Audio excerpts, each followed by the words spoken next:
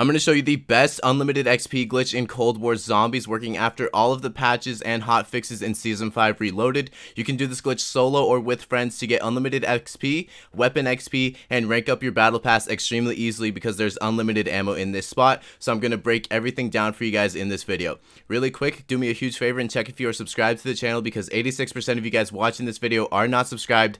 It's free. It takes half a second. So click that big red button and turn the bell notification on so you guys don't miss a future video video just like this one.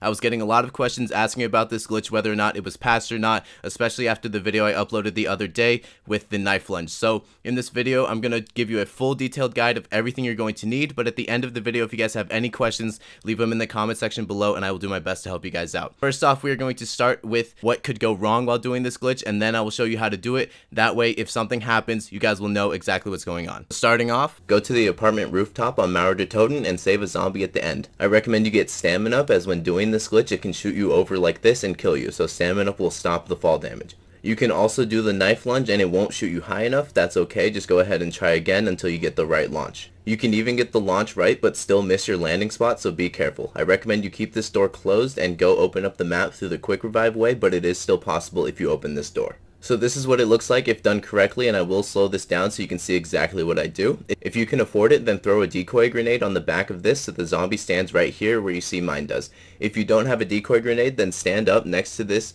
let the zombie hit you and then climb up on top and then wait for the zombie to throw meat at you.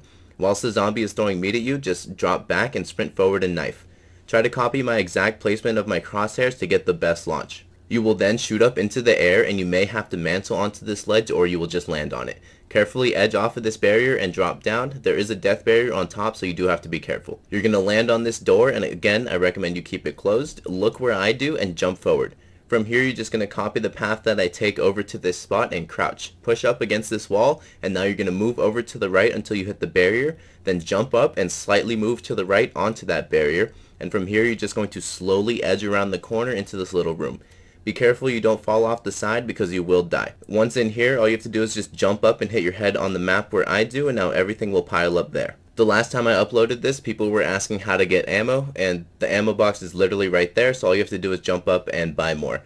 Pay attention to the ammo that I have, just jump up and buy more. It may take a few tries but it is possible. If you guys have Mule Kick, then you can also pick up ammo drops above you for free ammo. After ending Tormentor rounds, the max ammo will spawn below the map giving you ammo as well. Now everything on the map will pile up exactly where you jumped up and you can go for infinite rounds and get unlimited XP. You can have any perks you want so before getting to the glitch I recommend you guys get fully set up with all of your perks, get Pack-a-Punch guns, and you can stay here forever and get unlimited amounts of XP. I also suggest getting Shatter Blast on your gun to wipe out waves very quickly and Elemental Pop will also help with this.